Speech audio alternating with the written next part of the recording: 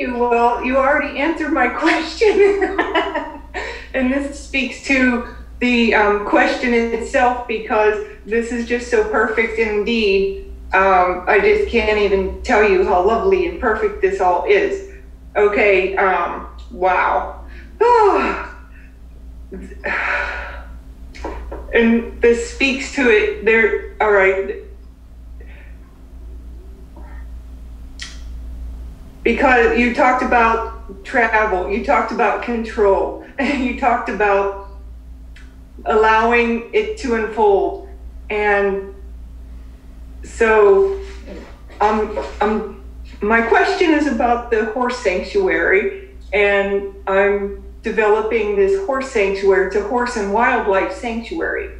And I am allowing the process to unfold beautifully. And the way I'm doing this is I'm having this conversation with the actual horses to figure out what they want and how to have that be. And the horses have, you know, told me that, that they already go there. And it's not just the vortex version of it, that they literally already go to this horse sanctuary that in the future, okay?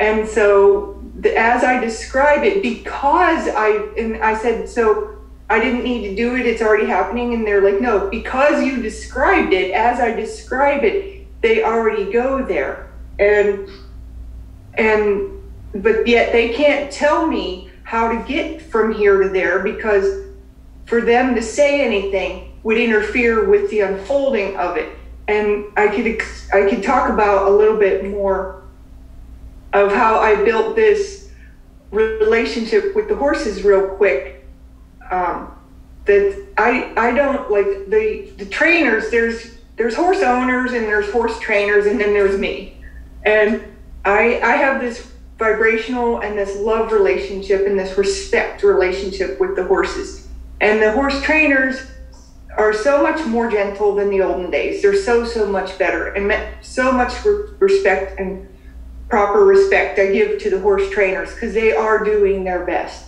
but they're fear based and control based in their relationship with the horses. And I don't know enough to know what I don't know. And so I just came at it so fresh and new. And I thought that they were picking up some of my good habits. And one special horse trainer was.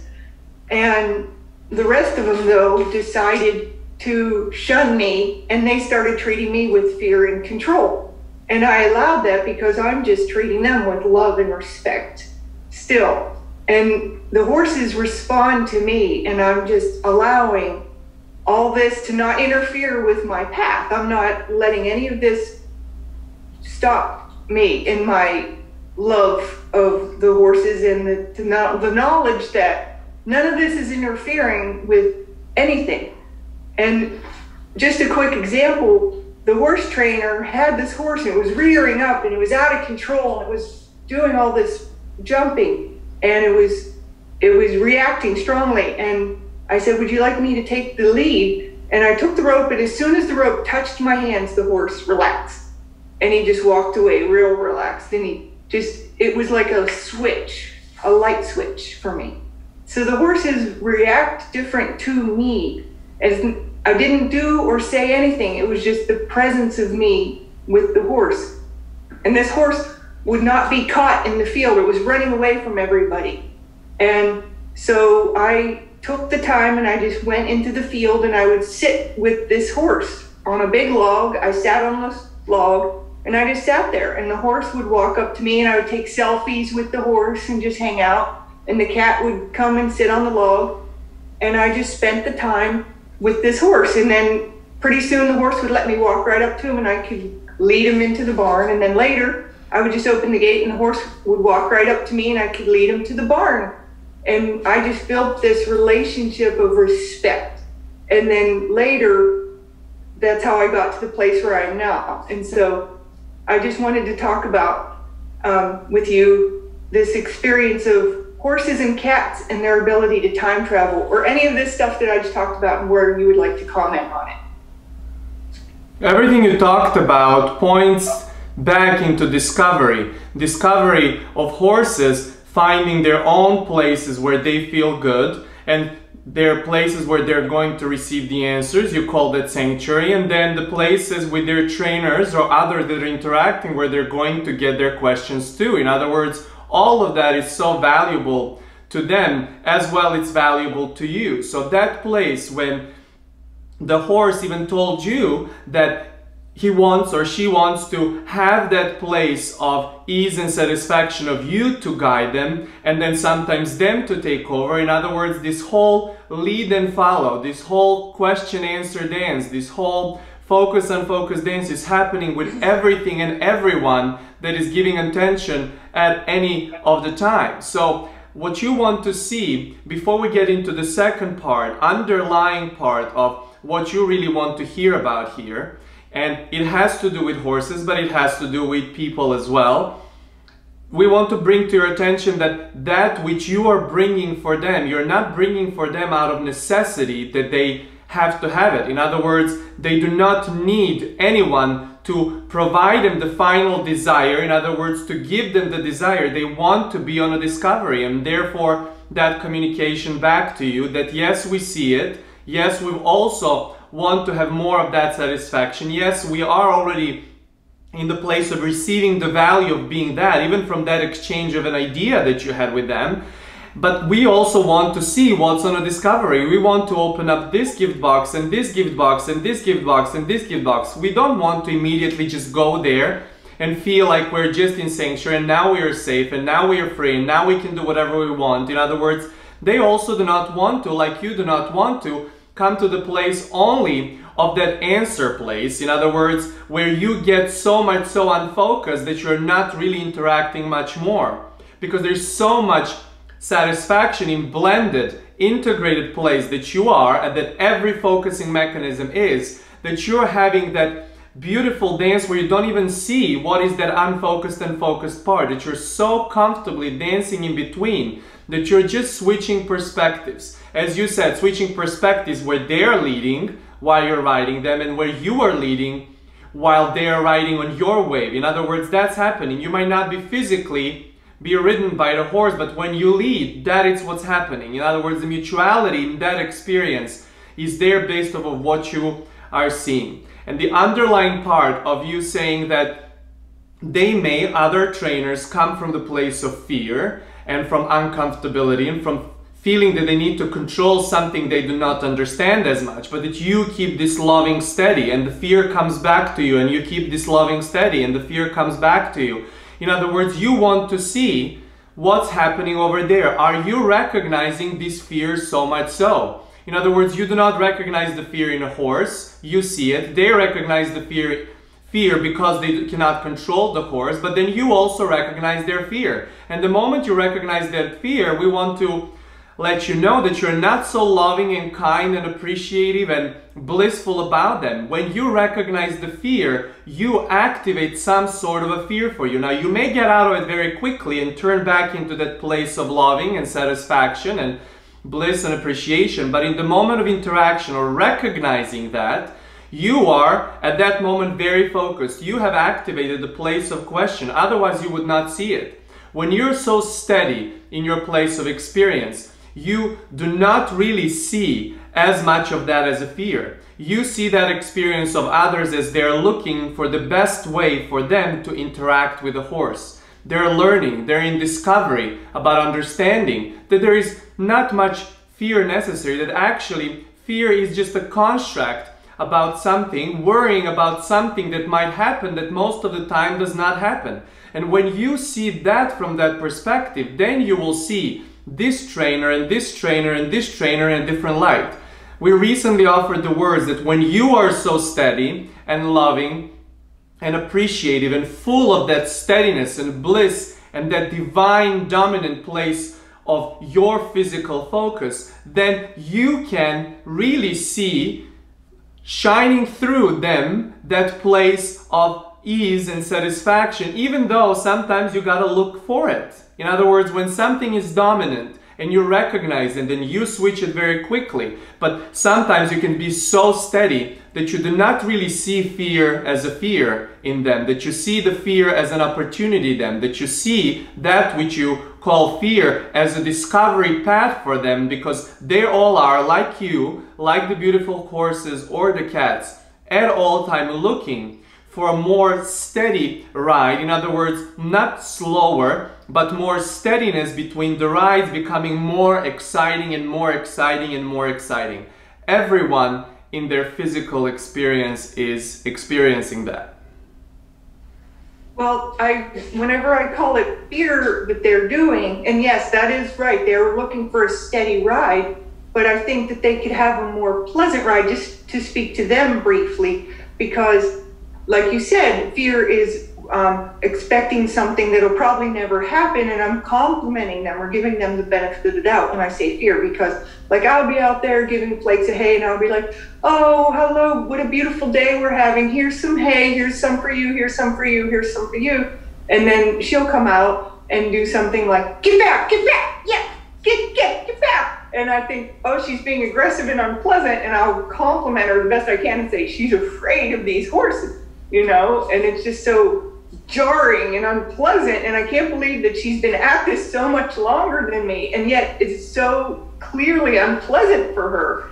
And I want better for her, but yet I'm just. And we want better for you. We want better for you. When this person acts like this in front of the horse, for you not to go and jump into all of that. In other words, you're trying to force it with a compliment. You're trying to force it with anything else than that. But what you want to is not get distracted from your study. In other words, you're having this interaction. And if this interaction is so dominant, there is nothing, nothing that can affect you at that time. So you want to check in with your study, with your beautiful experience of what you're having. And then when something like this come through, you allow yourself to open the door for the questions to come through. This happens when you feel steady and you do not open the door for the next question. This happens when you are so steady and the question finds you. And this is what we've been talking for quite some time. There is really this steadiness or these tools that you have found, you and so many, in the place of from question to move into more and more and more and more ease. And once you get to that place of steady, that is the time before you witness something like this to include all of these people that is the time to say, you see, I'm experiencing this beautiful interaction with you. I'm talking to you. You're talking to a horse now. I'm talking to you and I'm experiencing all of this. And I know that everyone can find more resonance because it's so easy to tune in. But I have also done certain amount of work. I have done certain consistent work to get me to be in the place of dominant ease. And I know that while some might have not found it in a way that I did, they are consistently looking for it as long as I consistently look for more and more tools to keep me there. And I know from this place of study, from this place of really enjoying this interaction, I know that I can see in anyone who offers any kind of wobble that which is what I'm seeing now in the place of steady. So as I go and withdraw my attention from my moment of bliss in interacting with you right now, I will go with this place of steady and anything that comes my way will not throw me off where I will see them as someone who is fearful and I will see them as someone who is in trouble or someone who could do it better because they've been there for quite some time. In other words, I will not measure up so much.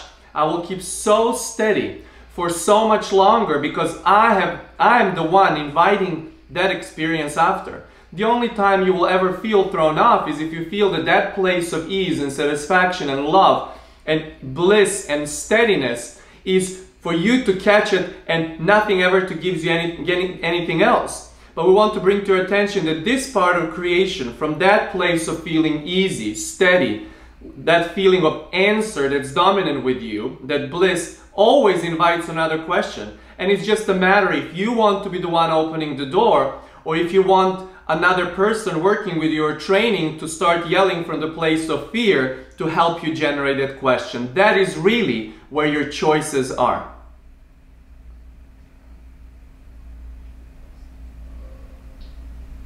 And it just seemed like at some point they would appreciate me and, and start emulating me and instead of more or less going, get back, get back, and acting like that toward me and controlling me and limiting my exposure to the horses and things.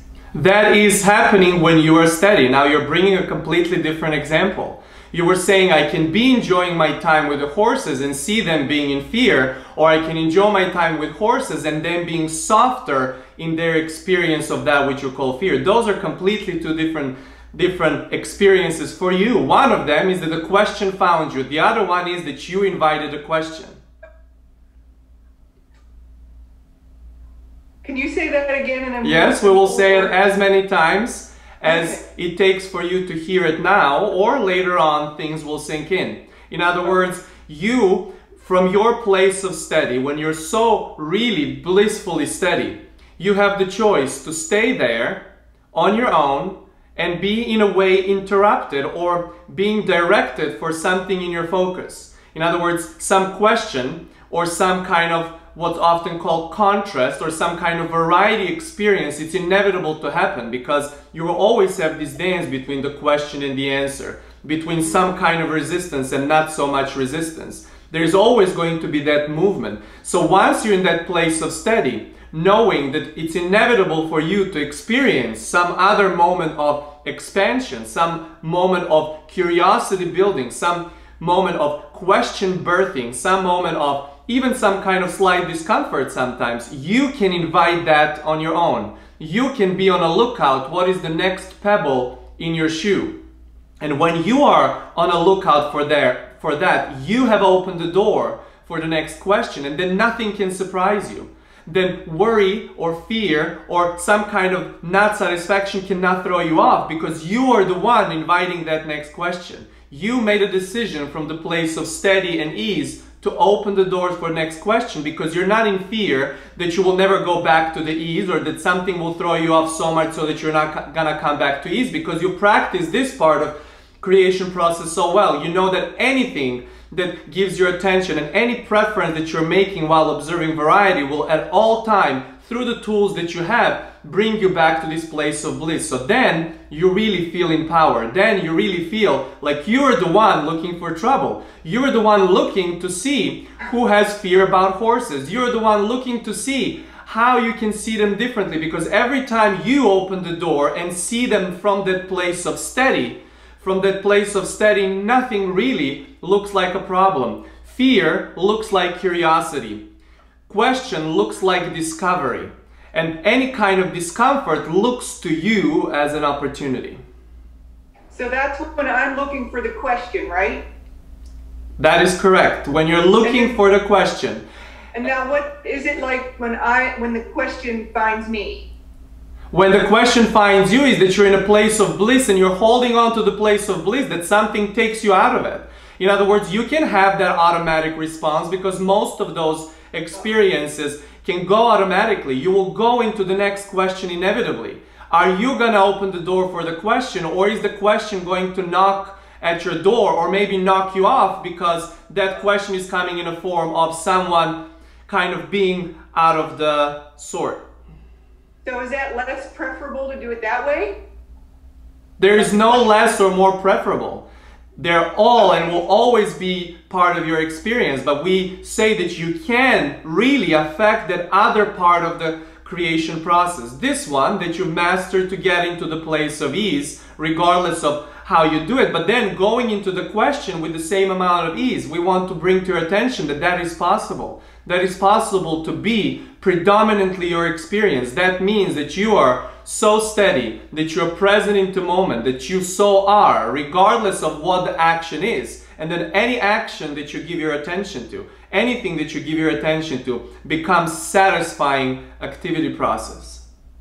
I love it because yeah, it's like you're, I'm not, um, I'm not overly invested in this beautiful this beautiful now moment which is so scrumptious and lovely i'm not overly invested in clinging to it. Oh it became unpleasant. That's okay because i'm sure there's going to be another beautiful pleasant moment over there. This loud woman came or whatever. I'm going to leave now or something. And so Or, so that is true. That is the moment where the question finds you and knocks the door at, knocks at your door. Or you can be in a place of I'm so steady right now. There is nothing for me to hold on. It's time for me to give attention to something. And since I am the one choosing to open the door and give attention to something, anything that comes to my attention right now is welcome because I'm the one that welcomed it. I'm the one that opened the door to see what's out there. I'm the one I can say even looking for a little bit of trouble, looking to see what will be the next pebble in my shoe to generate the next question that will generate beautiful discovery of so many more answers. Hmm. Okay, well, thank you, thank you. That's a whole new way of looking at that, and uh, I so I don't have to avoid it or be afraid of it, and uh, the contrast will always lead to something better and improvement. Thank you. The only time you will ever feel to hold on to that ease, and the moment you actually start holding on, you're not in ease anymore. But the only reason why you, would ever even intend to do it is if from your experiences you might have more unsteady moments than moments before. And now you have found that steady and now you want to make sure that unsteady never comes through. But what about having this beautiful balance between sometimes unsteady and sometimes steady? Because once you get to that place of steadiness, such powerful place of being, then it does not matter to you even what kind of emotion is being generated because you then start living beyond the emotion. Ooh. We know we offered this as a book title to Kosta in one of the meditations he had the other day and something beautiful will unfold in the months and years to come on this topic. I encourage him to write it because I'm not afraid of my emotions, even my negative emotions at all. And so, yeah, go Kosta. Excellent, excellent start to this broadcast. Go ahead, we're ready for more.